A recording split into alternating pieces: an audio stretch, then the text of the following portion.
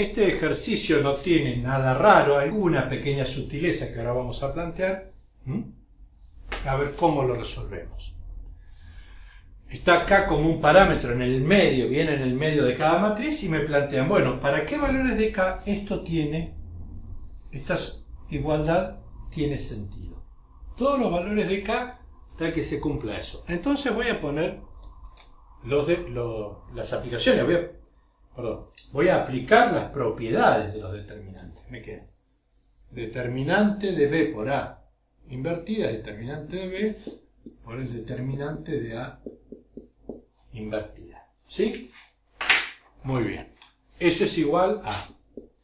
Este un cuarto multiplica a una matriz, B por A es una matriz de 3 por 3, así que puede salir como un factor común, pero a la 3, porque está multiplicando a toda la matriz, y son matrices de 3 por 3, por el determinante de B por A. Bueno, a ver, planteo ahora determinante de B por... Para que exista esto, o por las propiedades, yo sé que esto va a ser 1 sobre el determinante de A, y el determinante de A tiene que ser distinto de 0.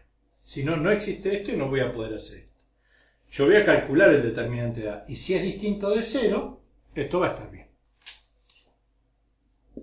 1 sobre 4 al cubo, 64, por el determinante de B por el determinante de A.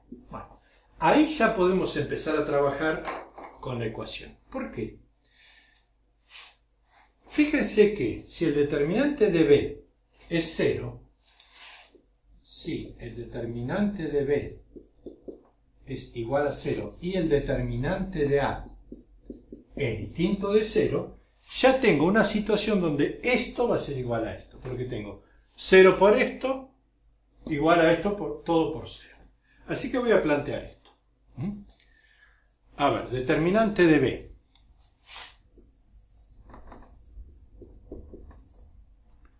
Dos, uno, uno, menos 1, K, 1, 0, 1, 2. Voy a desarrollar por la tercera fila. ¿Sí? Más, menos, más.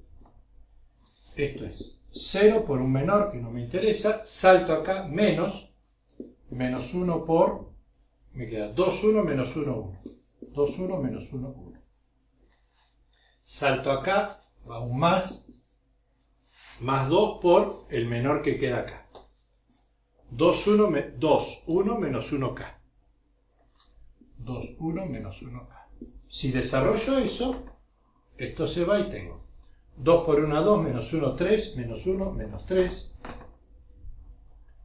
2k sería más 2 por 2k, 2 por k, menos menos 1, más 1.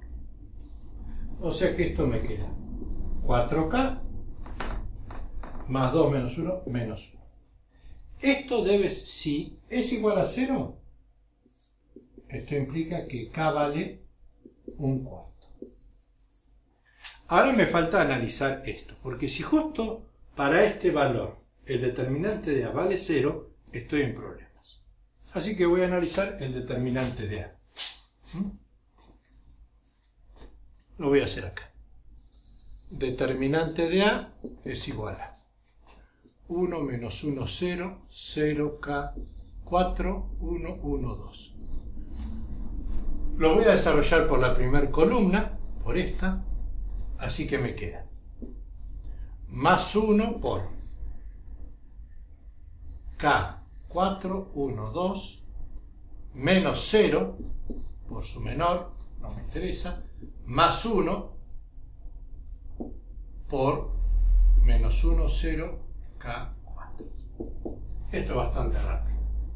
Acá es K por 2 menos 4, 2K menos 4, por 1. Esto no va. Y acá tengo menos 4. O sea que me queda 2K menos 8. Ah, qué problema. ¿eh? Justo si yo pongo acá, si K es igual a un cuarto, entonces el determinante de A vale 0 y no me sirve esta solución.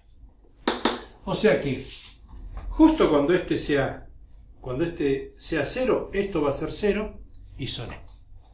Así que la única posibilidad que tengo, o mejor dicho, voy a plantear ahora la solución. Acá me fijé dónde podía tener algún problema, pero el determinante de b no puede ser 0, porque si el determinante de b es 0, este también, y no puedo hacer esto. No puedo ni siquiera hacer la operación. No tiene sentido esta expresión. Entonces, si k es distinto de un cuarto, esto implica que determinante de b es distinto de 0. Determinante de a es distinto de 0. ¿Mm?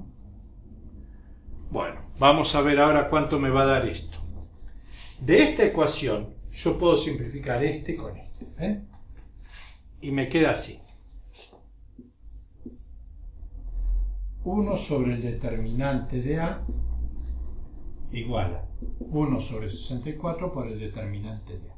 Multiplico ambos miembros por determinante de A y me queda 1 igual a 1 sobre 64 por determinante de A al cuadrado.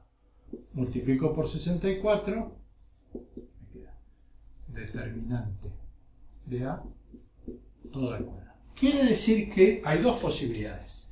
Que el determinante de A sea igual a 8 o el determinante de A sea igual a menos 8. En ambos casos se va a cumplir esta ecuación. ¿Sí? Bueno, yo tenía por acá el determinante de A. Yo digo, en esta situación, 2K menos 8 debe ser igual a 8. ¿Ves? Esto era el determinante de A. Si despejo me queda 2K igual a 16, K igual a 8.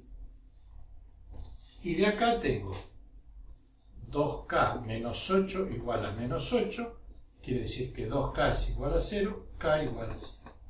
Para estos dos valores se cumple esta igualdad. ¿Mm? Nada más que eso. Bueno, en el próximo video vamos a empezar con transformaciones lineales. Y ahí en transformaciones lineales empezamos a jugar en primera empezamos a ver cosas un poco más difíciles que después se van a utilizar muchísimo. Así que terminen con estos ejercicios y sigan con transformaciones lineales con mucha paciencia. Hasta la próxima.